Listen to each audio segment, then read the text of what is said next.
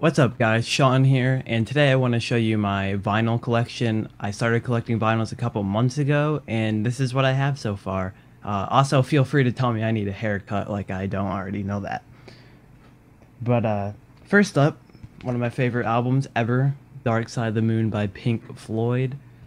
Bought this off of eBay for like 15 bucks, and I would have bought it at the record store, but it's like $30, and it's not even the original artwork because it's like the 2011 reissue or whatever. But uh, comes with all the lyrics, and unfortunately the uh, sleeve isn't in the best of condition, but the record is actually in pretty good condition, and I cleaned it, and there's very minimal static, and it's a nice thick record as well. Definitely glad I got that. Next up, another one of my favorite bands, Coheed and Cambria.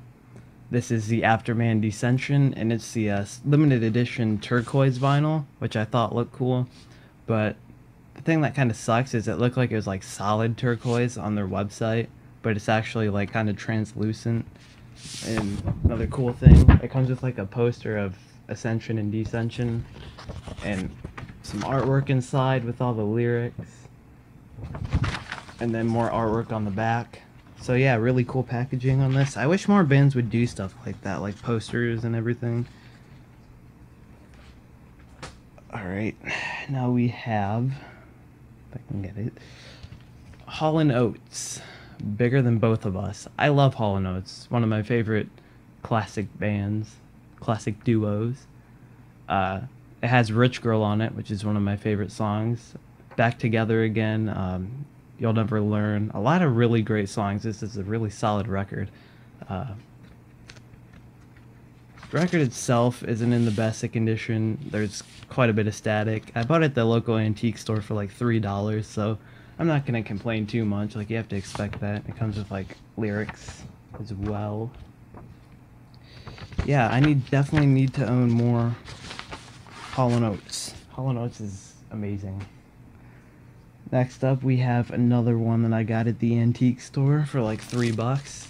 Styx, The Grand Illusion. I should honestly take it out of the plastic, but uh, it includes a lot of great songs like The Grand Illusion, Come Sail Away, um, Fooling Yourself. This is like their biggest album, I think, and Styx is fucking awesome. Like, I don't understand how somebody couldn't like Styx, but uh, it didn't come with a sleeve or anything, so I definitely need to buy some sleeves. Great record, great band. If you don't like Styx, go fuck yourself. No, not really.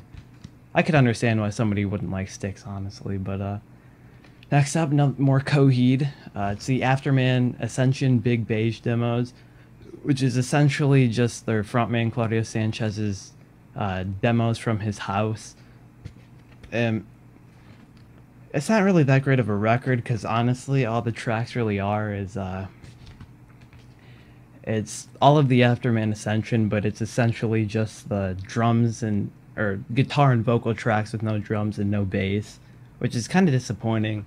Uh, it's honestly not that great to listen to, but uh, it comes on some sweet ass clear, clear vinyl.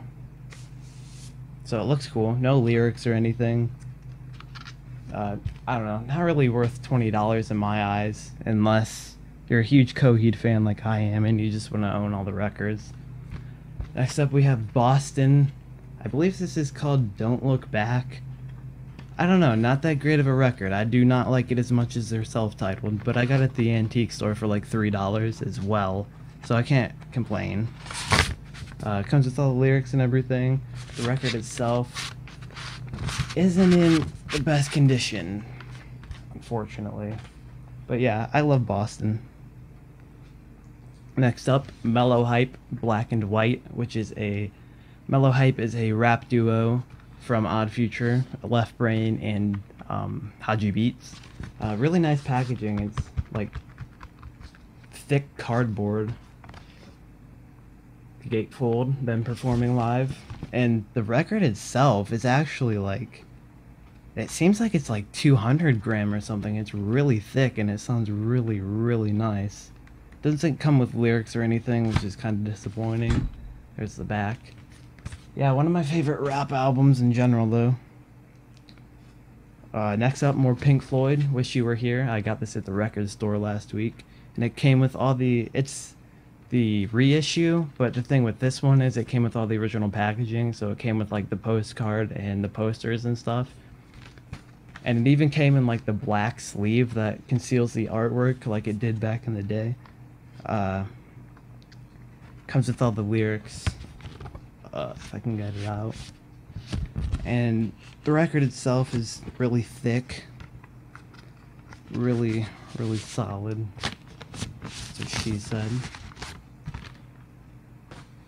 I I love that album. The album is great. But uh, next up we have Tool. I got this at the record store last week as well, on sale for like eleven or twelve dollars. Uh, it's not my favorite Tool record, but again, it's a really thick vinyl, double LP. Uh, it has songs like Sober and Prison Sex, uh, Bottom. I, I love this album. I can listen to this album all the time.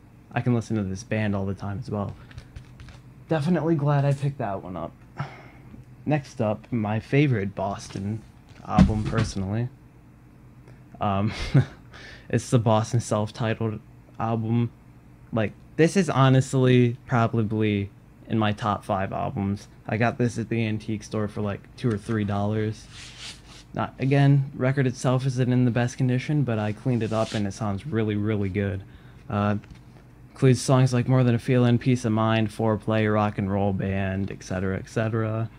Uh, no lyrics or anything, but the record was in a sleeve, which I always appreciate. Yeah, great, great album. Definitely a classic. And the last one actually isn't even a music record. What it is is I got this at the antique store and it's a JFK Memorial album. I saw the artwork. I was like, is this an actual like band's record? Like what is this?